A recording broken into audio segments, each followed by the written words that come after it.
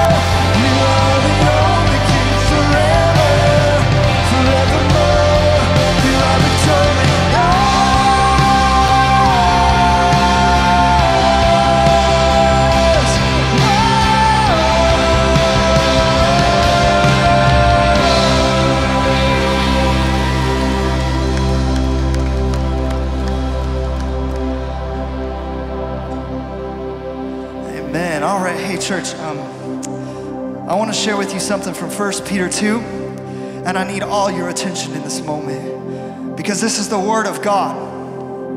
And there's something to be said in this moment for our worship. And I'm going to tell you about that in just a second. But in 1 Peter 2 9, it says, This is for you. You are God's chosen treasure, priests who are kings, a spiritual nation set apart as God's devoted ones. He called you out of the darkness and into his marvelous light. And now he claims you as his very own. He did this so that you would broadcast his glorious wonder throughout the world. You are set apart. You are a priesthood, chosen kings of a spiritual nation that nation is of freedom. That nation is of victory. That nation is the kingdom of God. And so here's what I understood about that verse this morning as I read it. It has great impact in our worship for right here and right now. Because your worship is all about a spiritual nation, about proclaiming truth. We just said about like talking about a banner that we had and the name of Jesus that we have. Well, what we're doing when we worship, when we open our mouth, when we say the words that I am chosen, I am yours, God, I live in freedom, I live in victory, I proclaim that I am a conqueror. You are putting a stake in the ground and you are saying, I take this ground in Jesus' name. That's what's actually happening in that spiritual nation, in that spiritual realm. I mean, we may not see it physically manifest here, but here's what else happens is when, when we start to worship, when we start to see, see, see around us and we hear the voices around us, when, we, when you see someone put up their hand in worship, I'll tell you what's happening. There's a battle that's being won in that moment. There's a victory that's being had in that moment. As you worship, as you release praise in this praise, as you release what's inside of you, you're taking back ground. You're claiming the victory in Jesus' name. In Jesus' name. Let's worship together. For you are good. God. We claim this in Jesus' name.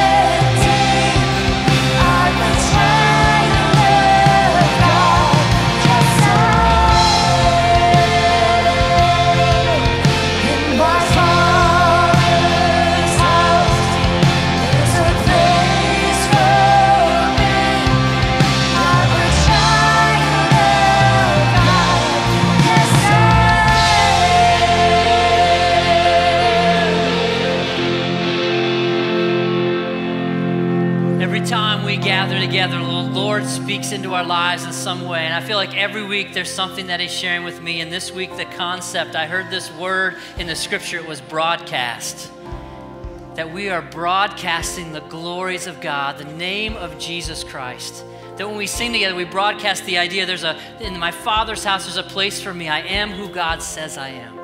That when we live our lives outside of this place, we're broadcasting the message of Jesus.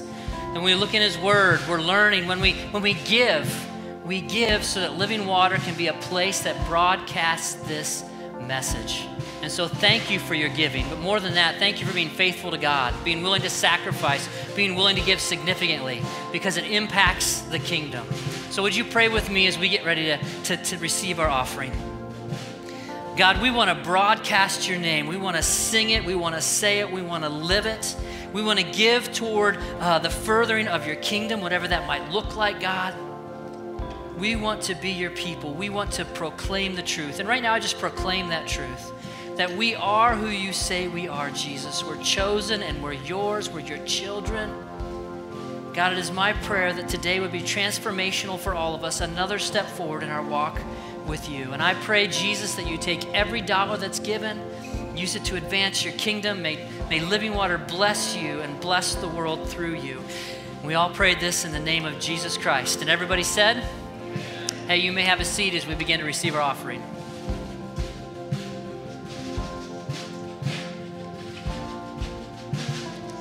Amen. Amen. Hey, in case we haven't met, again, my name is Taylor, um, and I, I don't work here. I've had that question before. I don't actually work at the church. I'm just a regular attender like you guys. But I wanted to announce a couple of things, a few things coming up that us as a church that we get to participate in. The first one is is bingo night. Now, bingo night is actually pretty cool. Uh, it's run by the students because the students have a mission trip coming up. They're going to New Orleans to help repair some stuff after hurricane season. They get to actually be the hands and feet of Jesus. And so this is your opportunity to get involved with them. And about nine years ago, I was on a similar type of mission trip. And because of that mission trip, I ended up becoming a follower of Christ. So, this is a powerful moment for students to get to experience what God is doing and get to be a part of His kingdom and be the hands and feet of Him. So, if you want more information about Bingo Night, you can check out the Living Water app or you can stop at the info desk out on your way out. Second thing, I'm wearing the shirt for it the Aruna Run. How many Aruna runners are there in the room? A few of you, right? I love the Aruna Run because it stands for something way bigger. The Aruna Run is a partner with the Aruna Project, which rescues women out of the sex trafficking industry in India. And I'm telling you, it's powerful. The lives of these women get changed because of the money that we raise just running three miles or so, or walking in your case. Many cases, there's lots of walking. But anyway, getting to be a part of that is huge, and I'm so excited about that. That's coming up this Saturday. If you want to sign up, it's not too late. There's a table out in the lobby to be a part of that. And the last thing I want to talk about is car care. One of the ways that we get to serve our community here in Dalton and Orrville is we do car care. So, if you're interested in helping out with that, you can sign up to be a volunteer at the table out in the lobby, or you can check out more information on the app. So, last thing, what I want you guys to do is stand up one more time, find three people, and since it's Memorial Day weekend, it's time to talk about summer. So, ask them what's their big summer vacation if they have one planned.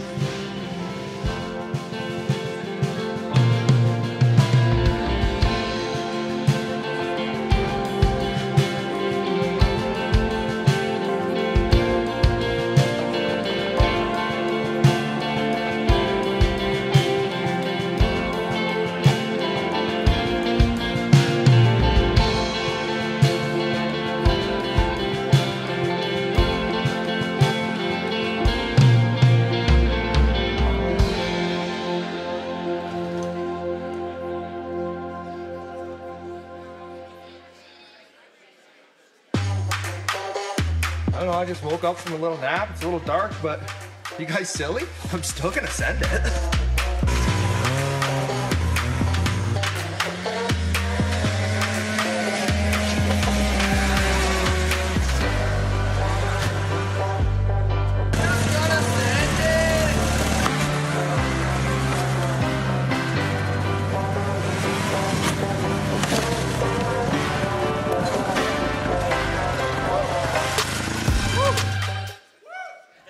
right, don't be silly. We're still going to send it. All right, if you don't know, that's Larry the Enticer. He is a true hoser from the land up north, my second favorite country of Canada.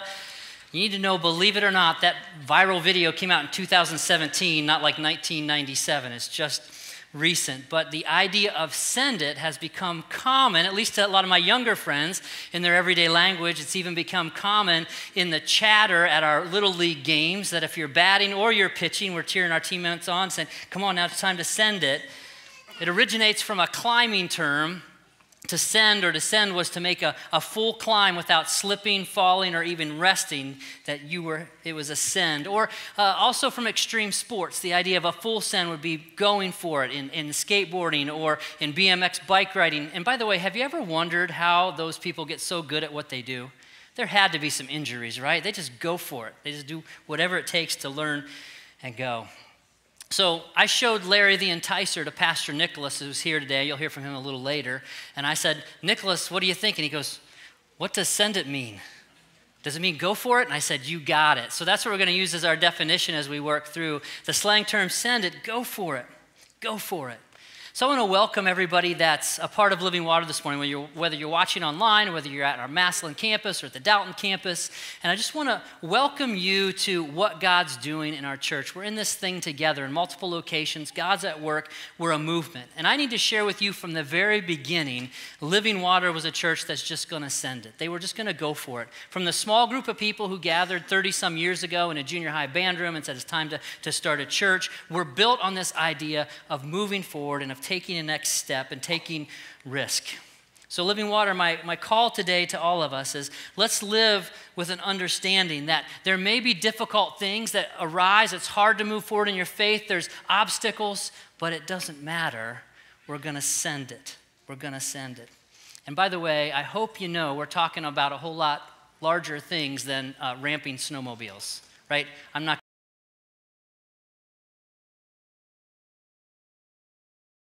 going for it. When you think about it, they ought to be. James addresses this in the book of James. And I'd love for you to turn there. Whether you have your Bible, whether it's a digital device, James chapter 2. As always, I want you to look into the scripture uh, for yourselves to see what's there, to be able to go back and look at it later. It'll be on the screen if you don't have anything, but, but I want you to be a part of, of what we're, we're talking about this morning. As you turn to James 2, a couple things you need to know. In the book of James, the author James is very direct. He's very blunt. He just says things as he as he sees them. This truth that has come through. Uh, by the way, he knows a lot about Jesus because he was Jesus' brother. He was a leader in the early church when there's a lot of big decisions to make.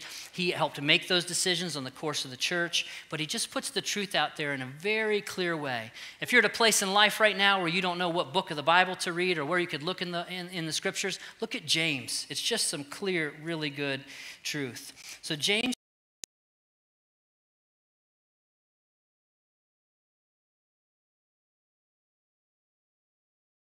looking for an answer from you. I'm going to pause. It's not rhetor- rhetorical. I want you to answer.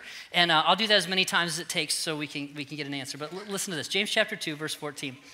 What good is it, dear brothers and sisters, if you say you have faith but don't show it by your actions? Now, that's not bad. Let's try that again. Rhetor- it's not rhetorical, meaning you need an answer to this question as I pause. Massillon Camp is the same thing. Here we go. What good is it, dear brothers and sisters? Are you getting your answer ready? What good is it, dear brothers and sisters, if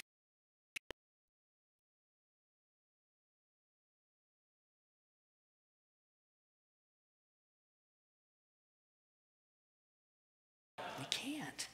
Now, listen to this. It's kind of a, a scenario, and then one final question. Suppose you see a brother or sister who has found who has no food or clothing, and you say goodbye and have a good day. Stay warm and eat well, but then you don't give that person any food or clothing. What good does that do? Doesn't do anything. It does nothing for them. So you see, this is James continuing on. So you see, faith by itself isn't enough unless it produces good deeds. It is dead and useless. Now, someone may argue, some people have faith, others have good deeds, but I say, how can you show me your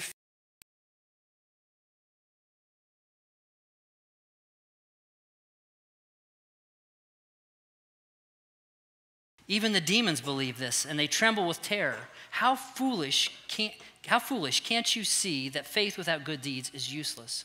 Don't you remember our ancestor Abraham was shown to be right with God by his actions when he offered his, his son Isaac on the altar? You see, his faith and actions worked together. His actions made his faith complete. And so it happened just as the scriptures say Abraham believed God, and God counted him as righteous because of his faith. He was even called the friend of God. So you see, we're shown to be right with God by what we do, not by faith alone. Rahab the prostitute is another example. She was shown to be right with God by her actions when she hid those messengers and sent them from safely away by a different road. Just as the body is dead without breath, so also faith is dead without good works. James writes this. He writes this entire letter, but he writes this passage because he is seeing and he is sensing an issue within the church that I believe is still very much alive today and needs battled. And that issue is simply this that faith all by itself, faith that's just an understanding, really isn't faith at all. Faith is bigger than that. Faith has to be bigger than that. People aren't acting on their faith. He starts to see this. Listen, this faith in Jesus, who James knew so well, produces action in us. We must move. We must move. But that's not the faith that is practiced so much. You see, we don't practice a faith that invests in the important things of God, that pays the cost to invest in those things. We don't have a faith that's willing to take risk and to step out and to be obedient. We don't have a faith that's a go for it faith. We more have a faith like, okay, if you're going to pull me along, I might come. James is shouting out, I'm just going to read into it. Don't you see? We just got to send it. We just got to go for it. We got to make these things happen and take action. There needs to be that action. So, as we talk about this, though, I want to pause for a moment, just come back a little bit, and just help us understand and remind us about our theology of salvation, our understanding of salvation. That we are saved, we are rescued by Jesus Christ and Jesus Christ alone. In fact, in Ephesians 2, it says it's for grace that you are saved, not of yourself, not of your works, so that you, can, you can't boast. Our faith, our salvation comes from Jesus. And, and one thing that's really important, I, this is going to sound strange, but I need to tell you this there is no cosmic brownie point system. And I can't tell you the number of conversations I've had with people where they believe, they won't say it this way, they think there's a cosmic brownie point system. That if I do enough good and that outweighs the bad things I've done, then God will probably let me in. That is an answer that even people within the church give. But the reality is, there's nothing we can do. There's no work we can do that can um, overcome the sin and brokenness that plagues our lives as we're on this earth. Only Jesus could when he gave his life up. He gave his life for us, and that's where salvation comes from. So, what's James communicating? James is saying when you recognize the value, the importance, the power of what Jesus did, then there's no way you can be the same. And that has to, you have to respond, it has to overflow out of you. So you've got an understanding it's by faith you've said to Jesus, Yes, I want you to lead my life. If that's happened to you in reality, then things are going to go different in the actions of your life. And if it doesn't, James is pretty blunt, then I don't think you're a believer at all. There's no such thing as a head knowledge faith or a rescuing faith in Jesus that's only through uh, your understanding. Action and good deeds demonstrate that faith. So we need some examples, and so James gives a couple, and I think they're worthwhile for us to take a little uh, deeper look at. And so Abraham is one of those, and many of you might know the story of Abraham. Some of you, this might be brand new. Good. It comes out of Genesis chapter 22. Abraham's story is all throughout Genesis, but in Genesis chapter 2, there's the story of Abraham and what happened. You see, Abraham and Sarah were an older couple whom God had come to Abraham and promised and said, I want to make you a great nation. You're going to be the father of my people. And the only problem was Abraham was 100 and Sarah was 90, and they didn't have any children. And so they prayed, and God said that He would bless them, and He did. And they had a child, which was miraculous. We might say a mistake in these days, right? If you're 100, no. It was a miracle, right? It was a miracle. And they were so thrilled with what God had given. They loved their son Isaac. It was this incredible gift. And there's this moment where God says to Abraham, I need you to give Isaac back to me. And not just, theor- not just, um, not just as an idea or dedicate him to service, but I need you to give Isaac back to me by sacrificing his life to me. Now, as I talk about that for a moment, let me just say this that the idea of sacrificing children in that day and age was familiar. It was not something that happened often, but it was familiar. It was something that uh, Abraham would have understood, but Abraham clearly did not want to do this, but he walked in obedience with God anyway. And so he took all the things that he needed, the altar that he needed to build, and he goes up to the mountain. And on the way, you just need to, this part of the story, go back and read Genesis 22 this week and see this story. But as he is walking and knowing what God's asked him to do, his son Isaac said, I see all this stuff that for the sacrifice, Dad, but what are we going to sacrifice? And Abraham says, The Lord will provide. The Lord's going to give us what we need, and they walk on. Abraham takes his son up the mountain. He lays them on the altar to strike him dead, and God stops him in that moment. God stops him. It says in the scripture that God knew that he would hold nothing back from him. It was this faith, it was this understanding that he would take action, even at great cost to himself. And in that moment, Abraham, God said, Stop, and he looked over, and there was a ram in the thicket, a ram caught in the thicket. I need to tell you something. I go hunting a lot, and I've never seen a big buck caught in the thicket. It just does not happen, okay? There's a ram in the thicket. That's what he sacrifices. And it's this incredible story of Abraham taking action in what God said, even when it was the most difficult thing that God could ever ask. So, this is the first thing I want you to write down this morning as we talk about action. God rewards action, not talk. God rewards action, not talk. As a result of what Abraham does, God says to him, You have obeyed me. You haven't withheld anything. I'm going to make you into a great nation. I'm going to bless you. I'm going to bless your family. Let me just comment on this is such a, a difficult story for me. Let me just comment for a moment that the story of God asking Abraham to sacrifice his son can easily be misunderstood as the story of a cruel and mean and unloving God. But when you look deeper into the story, what you find is this incredible story of faith and love. That Abraham had enough faith to listen to God even when he didn't understand, and that God used this story. The story is to foreshadow what God was, a, was going to do with his only son. And he was going to take his only son and sacrifice him for the forgiveness of our sin. The only difference was no one stopped God, he had to give his son up. And I love the foreshadowing of the story and what it means. It's an incredible story of love and action. God rewards that action of Abraham, not talk. The second story was Rahab, the prostitute. By the way, have you ever introduced your friend? Hey, this is my friend Rahab. She's a prostitute. I don't think you have. All right? It's this, it's this categorization of her and who she is and, and, and what her life was like. But listen, Rahab was honored because she chose action. You see, she was in the, la- she was in the city of Jericho and she had heard about the, the nation of the Israelites 40 years before who had walked through the Red Sea on dry ground and who had wandered through the desert all these years. And anytime somebody attacked them, they won the victory. She had heard that just recently they crossed over the Jordan River, that uh, was in flood stage, but they crossed over on dry ground, and she knew they were coming. And something within her, she knew that these people had the God that was real, that could be trusted. Two spies from Israel show up in her city. She takes them in. When the king finds out there's spies in the city, they come to Rahab and they say, where, where are these spies? And she says, I don't know. They were here and they left. All the while, she's hiding them in the roof. She's taking a huge risk. She keeps them for the night, she sends them away. It's this story of her stepping out and taking action. Not just saying that God must be real, but taking action in it. And let me tell you something God blessed her. God blesses action, not talk. God rewards that. And if you look at the story of Jesus and the royal line, the royal family of David, and then on to Jesus, you will find that the great, great, great, great, great, great, great, great, great, great, great, great, great, great, great, great, great, great grandmother, or something like that, is Rahab. Not the prostitute, but Rahab, the mother of the family of Jesus. God transforms her through that. Her life changes. She's rewarded because of the action that she takes. As I think about what God is saying to us, I know that every single one of us in this room has a story of taking action, of having faith, of stepping forward some way, some shape, some form. I know it. But if you're like me, and for a moment you would be transparent, and I want to do that with you, I would say this I've got some stories, but I have too few stories. Why don't I have more? Why don't I have more stories? I know there's missed opportunities. And by the way, as you sit in here, you will probably think of missed opportunities that you have. And here's what I want to say is listen,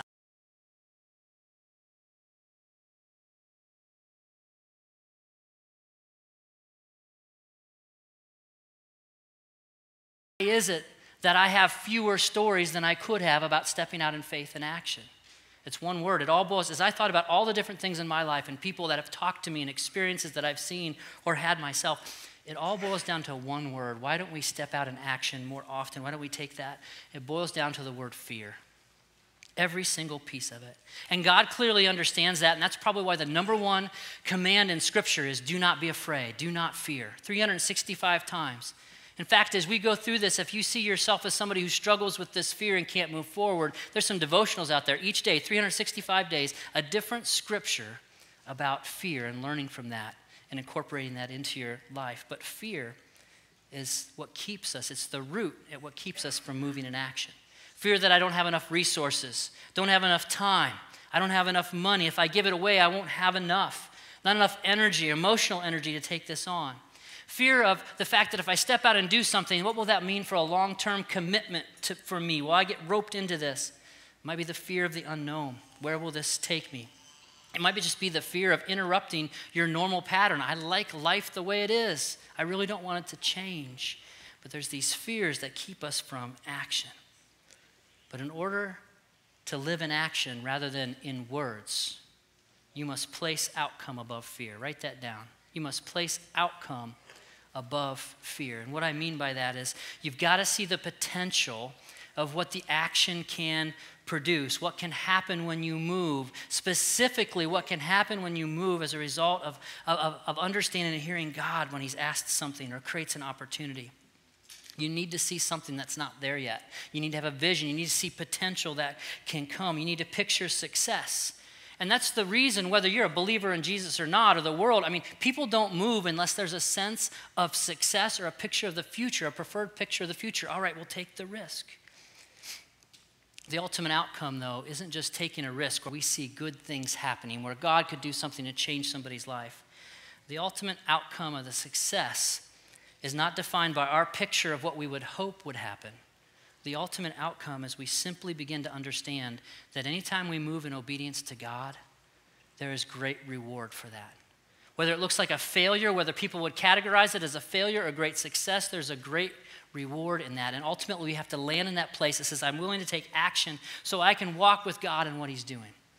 Let me tell you a, a story uh, that best defines it for me. I had a good friend here at Living Water who owned a small business. One day he was driving through town, and as he drove through town, he looked up under a bridge. There was an overpass. He looks under the bridge, sees somebody up there, keeps on going. But as he went a little further, he goes, That really looks like a former employee of mine. So he circles back around and he stops and he goes and has a conversation. Sure enough, it was Brian, his former employee. And he talks with Brian about what's happened in life and addiction, and he's lost his family, he has no job, he has nothing. And he says to Brian, um, do you want things to change? Because if you do, I've got a place for you. I want you to come be, you know, at my house. And Brian said yes. And my friend moved him into his barn. But I need you to know the barn was really a man cave. It had a pool table and a TV. You know, I, would actually like to live there. But it was, a, it was a great place for him. But over a period of nine months, he um, got some part time work here and there.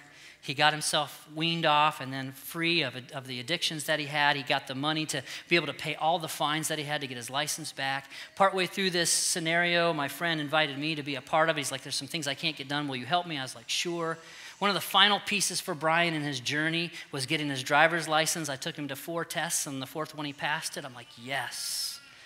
As soon as he got his license, about four days later, it was a Monday, he started in a new job where he drove uh, construction. He drove for the crew and then he helped in construction. After one week and his first paycheck, you know, it's celebration time. Man, you're, you're making it. As soon as he was paid, he disappeared. And we didn't see him for another week. And eventually, he found himself back to that same bridge and he just gave up. And I remember my friend looking at me and saying, we, What did I do wrong? What could have been different? Man, did I not pray enough? Did I not share enough with them? What, what, what, what is this? And as we sat there and thought about for a minute, there was just a clear impression that I had as we talked, as I said, Listen, there was nothing that you did wrong. You chose to take the risk and join in with what God asked you to do. And what God asked you to do was give Brian one more clear chance. And you know what? The God of the universe loves us so deeply, he'll give Brian another chance. But right then, it was our job to give a chance. And the outcome did not go the way that I'd hoped or anybody who knew about it had hoped.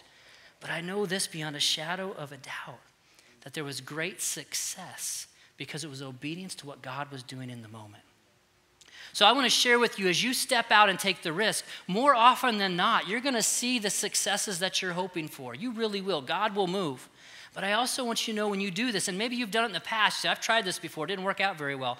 If you're obedient to God, it's success. It's success. So you must place that outcome above your fear.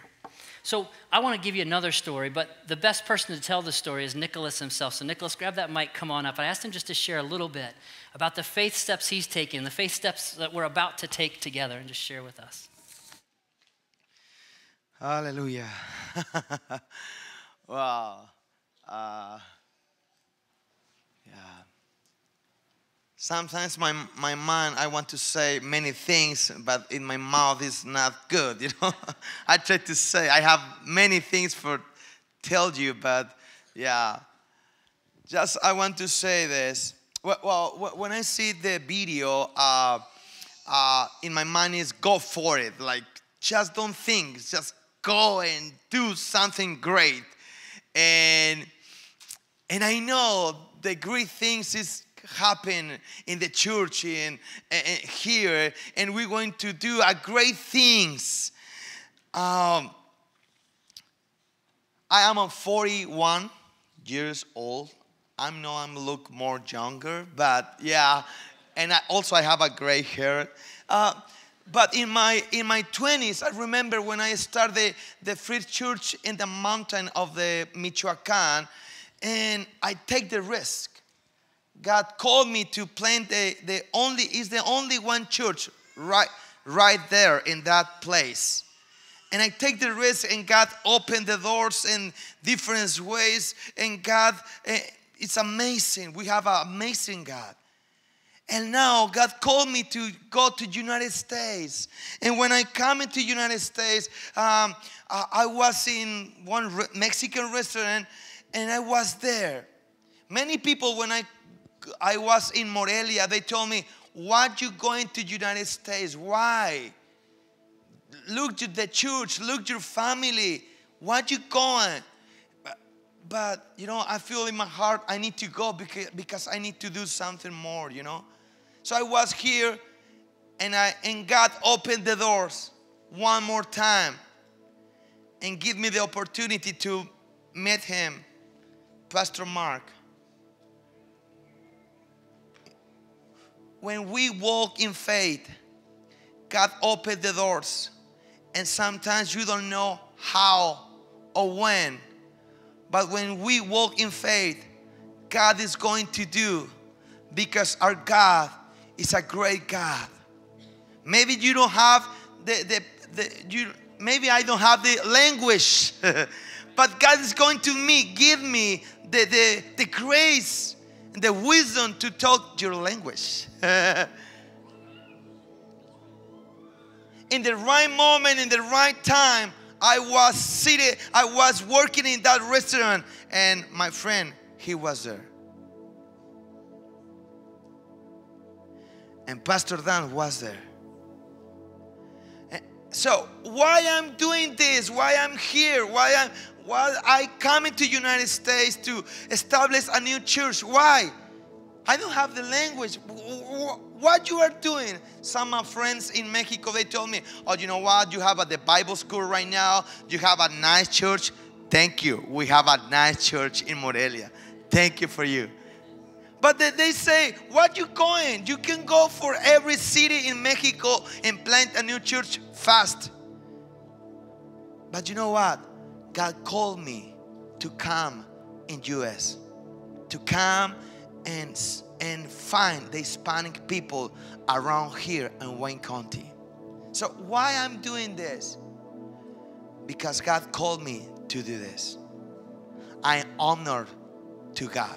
This is honor. I honor to God for what He doing in my life.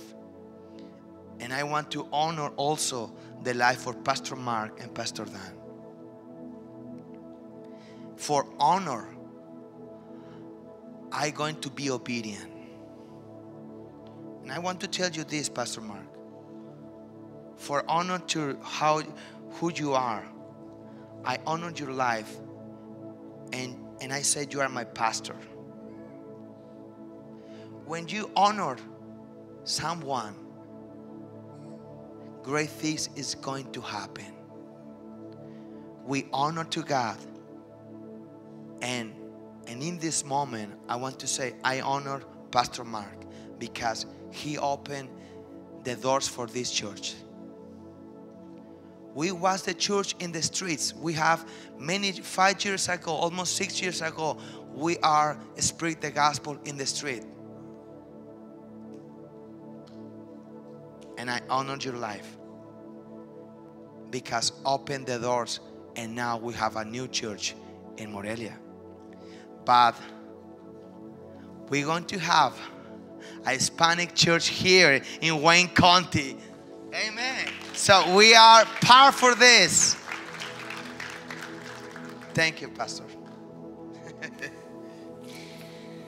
We're going to launch our first campus in Massillon. And Nicholas has been there, and it's, it's so good what the Lord is lining up in the midst of this.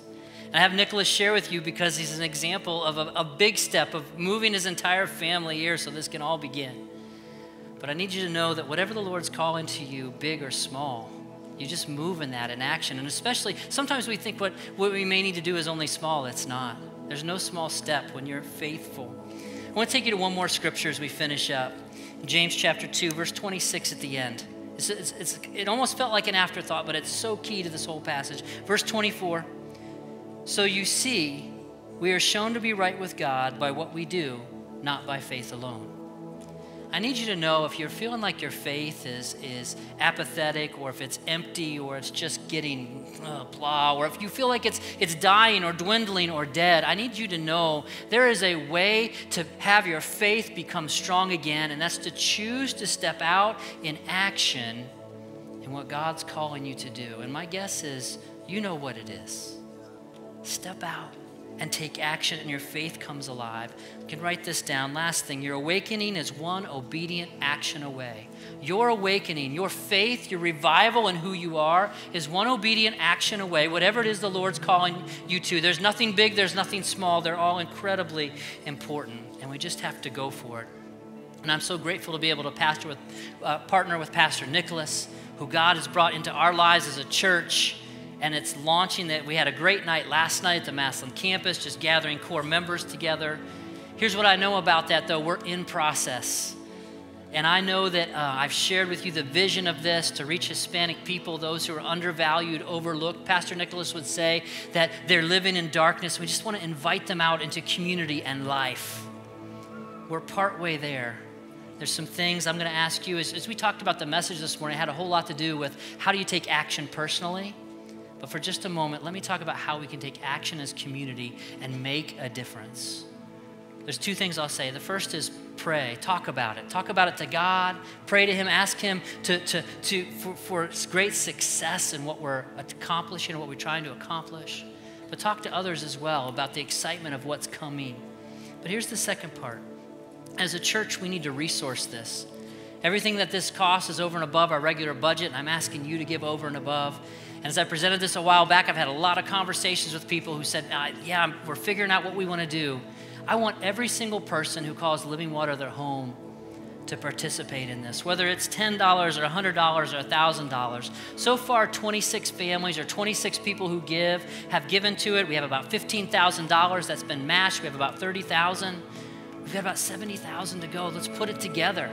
People, let's all be a part of it. Let's invest in something that matters eternally.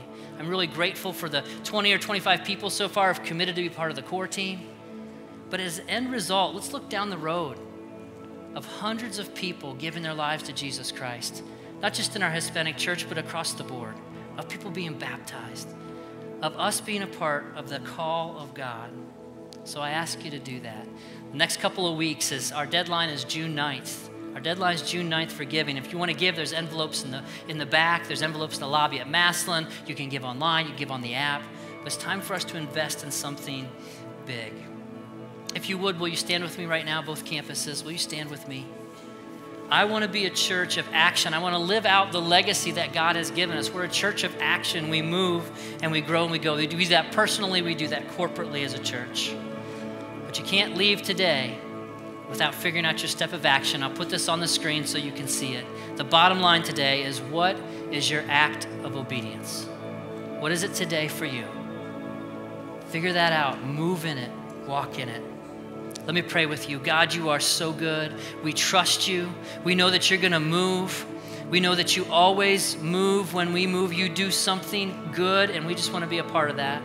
We pray, Jesus, that you will launch this Hispanic campus into great success of rescuing people, of bringing people to you, of discipling people. We pray, Jesus, that each of us will be faithful in what you called us, will act, will step out, whatever that looks like. God, we want to be your church, the church of action, and we pray this in the powerful name of Jesus. Amen.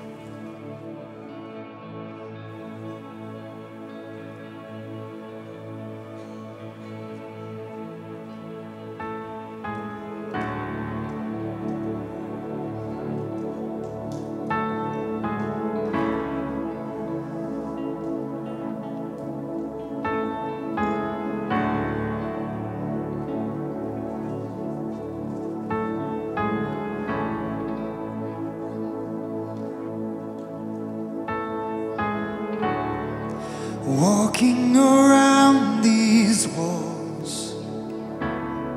And I thought by now they'd fall. But you have never failed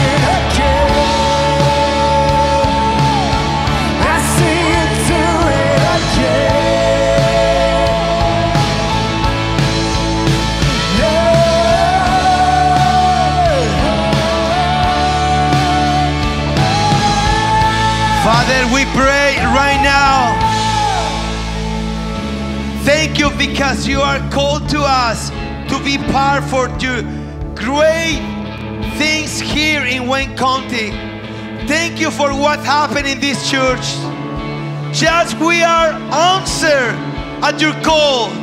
And we say yes. Yes, Father. We want to be part for this. Yes, Father because we know you're going to do one more time. You're going to move on mountains, but you're going to do whatever you want. Thank you, Jesus. En esta hora respondemos a tu llamado y decimos sí a tu llamado. Decimos sí a lo que se está hablando en el cielo y respondemos a tu llamado en esta hora. We answer at your call. We say yes. Yes, Jesus. I am here. Send to me. Send to me, Jesus. I am here. Oh, hallelujah.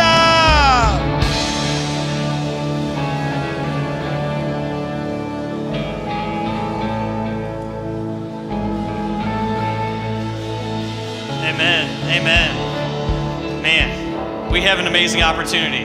We get to be a part of a movement. Not something just tiny and small, but we get to be a part of something that God is doing and growing and pushing forward. Isn't that exciting? Are you guys excited? Because I'm excited.